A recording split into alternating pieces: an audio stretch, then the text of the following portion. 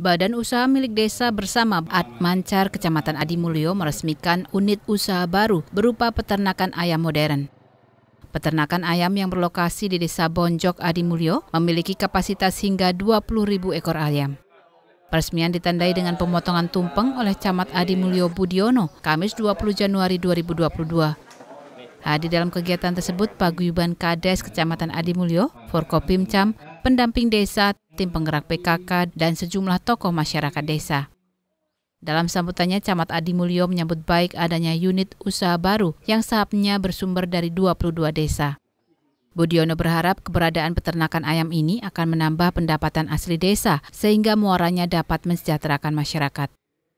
Ketua Badan Kerjasama Antar Desa BKAD Kecamatan Adimulyo, Ahmadi menjelaskan kandang ayam tersebut berdiri di lahan seluas 88 ubin atau sekitar 1.232 meter persegi.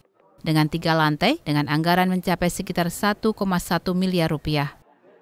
Ini kerjasama dengan antar desa, yang mana eh, badan usahanya untuk milik bersama. Eh, ke depan harapan kami untuk menjadi PADES masing-masing ke desa seluruh kecamatan di Adimulyo. Dengan harapan mudah-mudahan eh, dengan berdirinya BUMDes Admancar sesuai dengan namanya yaitu Admancar Adimulyo Maju Lancar.